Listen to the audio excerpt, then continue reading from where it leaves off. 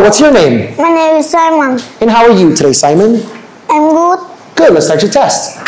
What is it?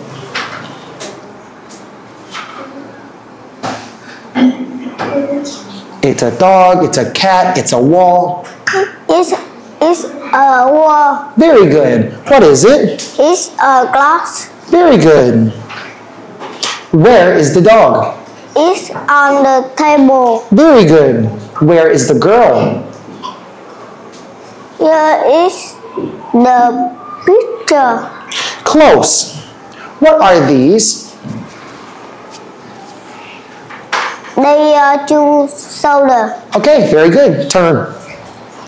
Next one. What can you see in a classroom? I can see 11 picture. Four, uh, three fan and two window. Good. Do you have any brothers or sisters? Uh,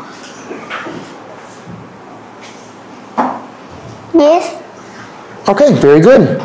What does a rabbit have? rabbit have long ears and big teeth. Very good. What does an elephant have? Elephant have big ear and long trunk. And what does a giraffe have?